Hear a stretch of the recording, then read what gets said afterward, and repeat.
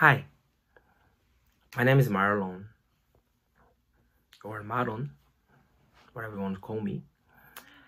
I'm a Japanese Brazilian, and currently I'm living in Japan. Let's talk a little bit about my history or my life.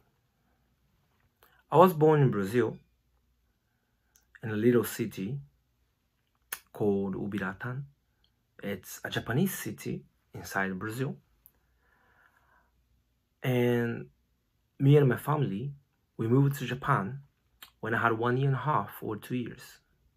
I don't remember, of course. And since that, I never been in Brazil. So I'm living in Japan.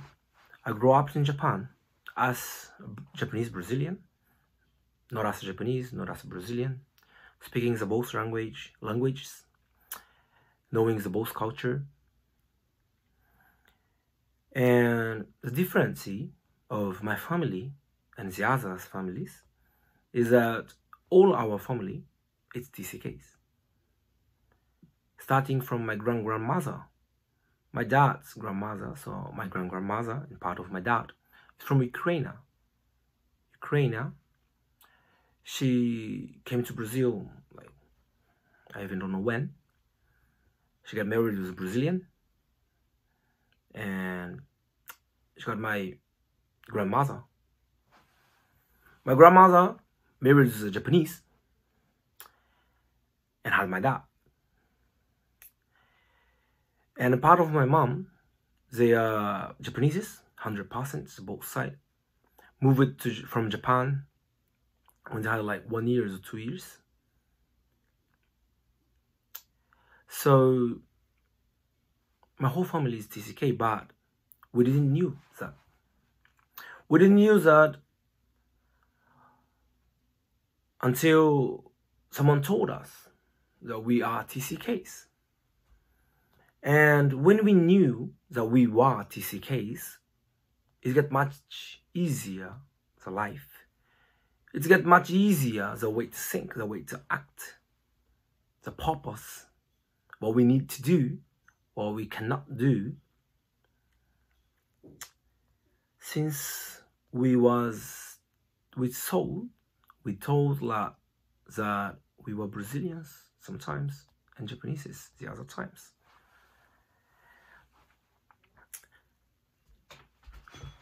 I came back to Japan in December from Korea I was in RTS. I finished the RTS and came back to Japan. And since that, we are working here. We are working here to make or build a TCK college, TCK University here in Japan. TCK college is a place that TCK can teach, can not teach, can study how to be a TCK. And at the same time, we can teach teachers how to educate TCKs. This is a TCK college, and we are planning, we are praying, and we are moving to build a church as soon as possible. Unfortunately, uh, still now we we did only the planning and we are talking with several cities, so city halls and mayors of three city. Uh, we can have their help also to do that. So when I go to Korea, when I arrive in Korea, when I meet you guys, I think I will can we will can have a deeper forum about that but for now, please pray for TCKs. You are TCKs, so pray for you. Because TCKs, it's a key of the world evangelization, and we know that. Look at us. We are not Korean. We are not Japanese. We are not Brazilian. We are not American. We are not English. We're not Indian. We're not Chinese. We are TCKs. We don't speak Korean fluently. We don't speak English fluently. In my case, I don't speak Portuguese fluently. I don't speak Japanese fluently. I don't speak Korean fluently. I don't know which language is my mother tongue. And I think a lot of you guys too don't know which language is your mother tongue.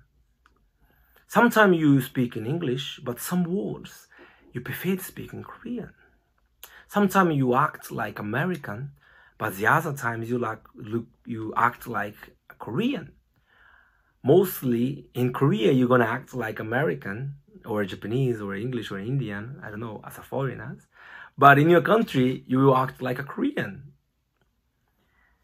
We are TCKs.